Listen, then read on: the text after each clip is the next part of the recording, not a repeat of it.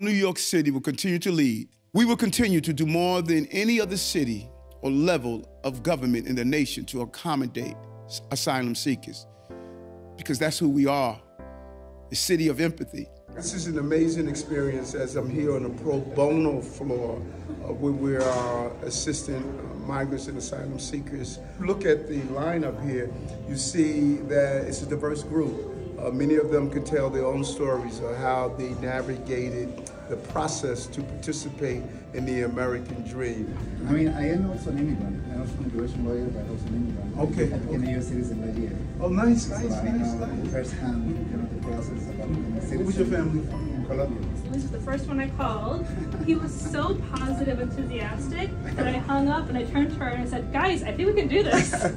And we know in the long run, asylum seekers will contribute to our strength like so many before them.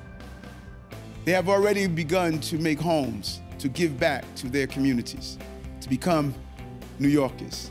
Uh, he talked about his journey um, from the cruise terminal, from Venezuela, uh, came here, and now he's here helping out other uh, asylum seekers. You know, that's the American story, and this is what makes it real to people.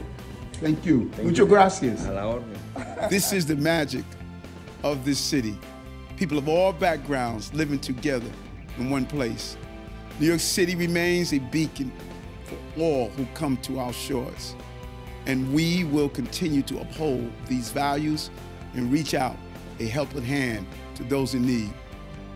This is the New York City way. It is time for that to be the American way again.